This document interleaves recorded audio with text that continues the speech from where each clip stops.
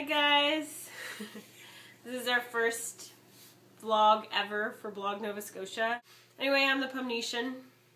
Um, this is our Christmas haul. So what we have here, um, we'll probably do in three different parts. We're going to start off with our wine list because that's the most important. And uh, we're kind of excited because this is our first video ever that we're going to post on YouTube. These are actual presents that we have bought people. They're not just a list of things that you we suggest to you. These are presents that we have bought gifts for other people that we are going to give during Christmas. So we're going to go ahead and we're going to show you the perfect drink to be drinking on Christmas morning when you open up your presents. It's called a Cranmosa. I've actually drinking a lot of mine and if I'm red then I'm sorry because I've had a couple of Cranmosas.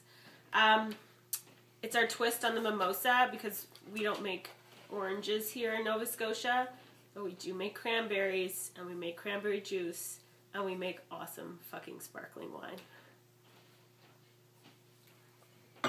So forget the crystal. You need to get yourself some of L'Acadie Vineyards vintage cuvee. Um, the bottle runs about I think you can get it on sale for like $24 this time of year. It's made from 100% Nova Scotia grapes. It's super awesome. It's super bubbly. It's amazing. So, like any mimosa, when you, or cranmosa, you mix half and half. Um, just fill half your glass with some of your vintage cuvee from Acadie Vineyards and uh, Terra Beata cranberry juice that we also make in Nova Scotia. They're made outside of Lunenburg. They're awesome. I love this cranberry juice. I don't drink anything else. Um, you can buy it at Sobeys. It's around $5. And it makes the perfect Christmas morning drink. We kind of went on a wine tour in the end of November. I don't know why. It's just us. We went to the Wolfville Farmers Market and then we decided to do a wine tour. Why not? We went to Gaspereau Wines and the mus mus muscat. muscat, but uh, I didn't buy any, and it's killing me because we should have bought. It's one of the white wines that I actually like. It's um, it tastes kind of grapefruity. It's called muscat.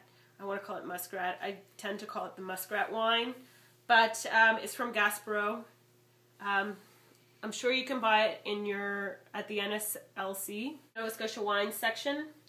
And then we went to Luckett's Vineyards, and unfortunately they were closed for the season. So I wanted to take my picture in the red phone booth in the middle of the vineyard, but of course Pete Luckett crushed my dreams, and he closed his.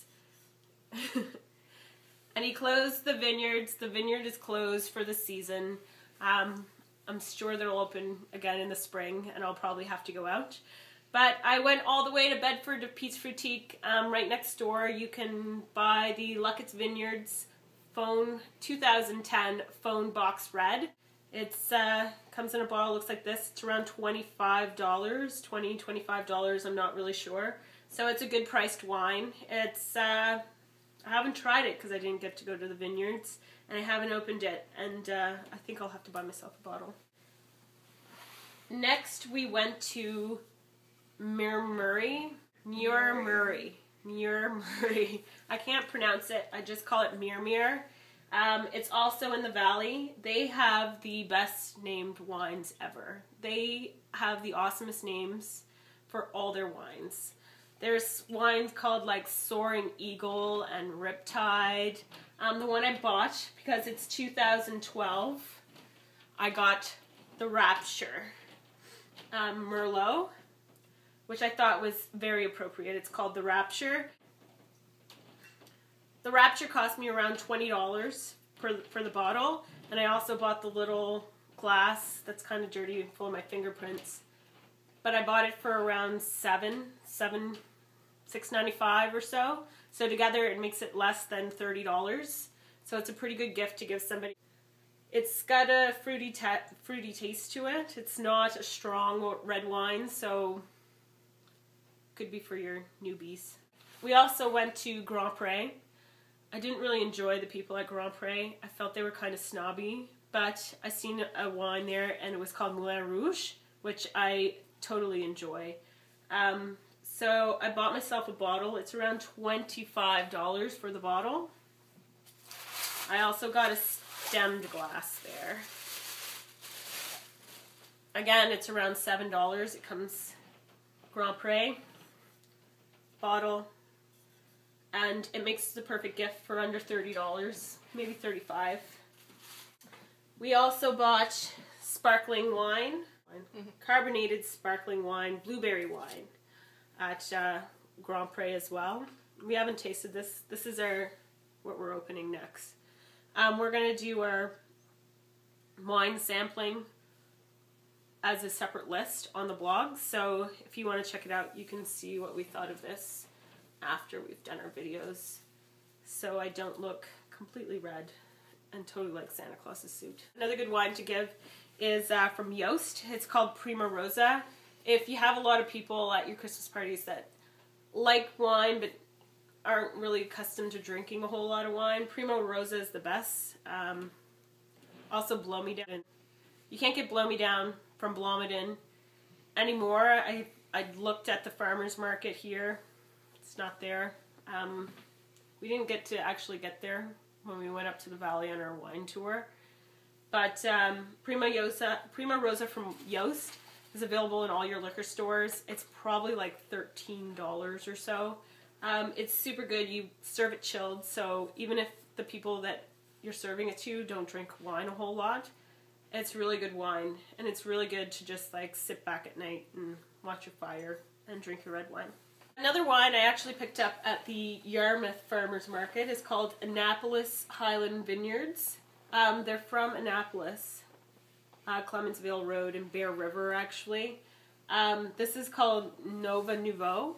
It's made with the first wines that they pick off the vines. First grapes. First grapes. The first grapes they pick off the vines, not the first vines they pick off the vines. Um, so it ferments for a very short time. It doesn't have that deep aftertaste that a lot of red wine has. It's very fresh. So again, if you're just serving it at Christmas dinner or whatnot, um, it's a really good wine to have. I've only seen it at the Yarmouth Farmers Market and the Wolfville Farmers Market. I haven't seen it at our farmers market in Halifax, or I haven't seen it in the stores either. But I think if you go online, they must have a website. I don't know. If we'll find a link and we'll put it below, hopefully. If not, you're gonna have to go to Yarmouth to buy it. Another wine I actually picked up at the Yarmouth Farmers Market is called Annapolis Highland Vineyards. Um, they're from Annapolis, uh, Clementsvale Road and Bear River, actually. Um, this is called Nova Nouveau. It's made with the the first grapes they pick off the vine, so it ferments for a very short time. It doesn't have that deep aftertaste that a lot of red wine has. It's very fresh. So again, if you're just serving it at Christmas dinner or whatnot, um, it's a really good wine to have. I've only seen it at the Yarmouth Farmers Market and the Wolfville Farmers Market. I haven't seen it at our farmers market in Halifax or I haven't seen it in the stores either. But I think if you go online, they must have a website.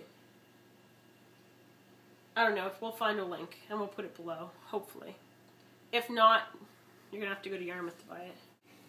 Alright, so that's our wine list. There's plenty of other wines that you can find. Um, there's a whole section in the Nova Scotia liquor stores that is completely Nova Scotia.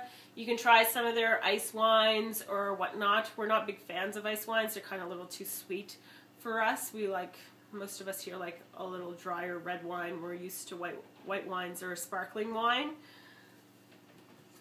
Especially our L'Acadie Vineyards. It's super good. Um, give them a try. Um, if you find we've left, left out any wines that you prefer, just uh, comment below or leave us a comment on the blog and we'll try them out. So, see you guys later.